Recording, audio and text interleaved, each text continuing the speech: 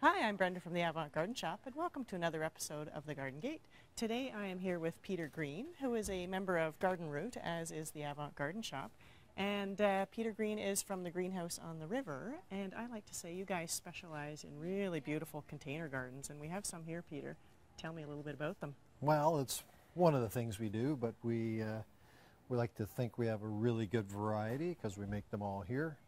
And uh, these are shade ones or part sun ones that we've made up uh, in the last little while. What makes them uh, one ingredient that's gives them a lot of interest are these Rex begonias, which come in a quite a variety of colors and and leaf shapes. And but uh, you know we just try to find uh, subtleties in in color and in size and texture and all that to uh, make something uh, interesting and that'll last the season and that's that's the way we go. So, Peter, not only do you have wonderful plants, Yeah. really different plants, but you have some interesting containers. Do you have uh, any special ones you want to show me? Well, what we really like and they perhaps come out of fashion a little bit are uh, ceramic containers just because they with ceramic you get colors and shapes that uh, you don't get with plastics and resins. We have a lot of different really nice ones and they're substantial. They're almost art pieces. Yeah. You do have to be a little more careful with them, but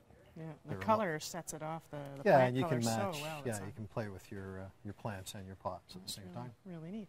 Okay, in the second segment, we're going to talk about Peter's favorite plant. So come back uh, shortly and we'll find out what that is. Welcome back to the Garden Gate. I'm Brenda from the Avant Garden Shop here with Peter from the Greenhouse on the River.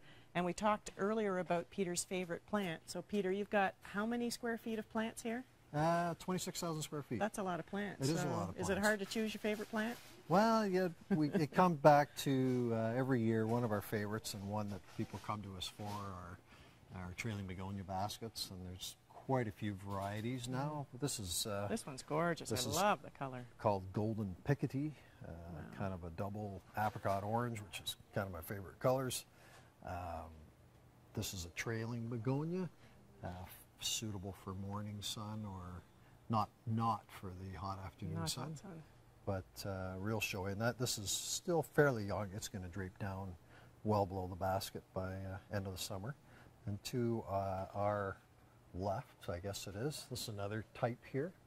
They call these uh, Himalayas type, Monoveris type begonias. More of a single flower, but again, two different mixed in there, but quite showy. Well, excellent. Thank you for having us today, Peter. This has been really fun. I wish I could take all these plants home. we'll see you next time on the Garden Gate. Thanks, Brenna. The Garden Gate is brought to you by the Avant Garden Shop, your destination for gardening accessories and backyard birding supplies.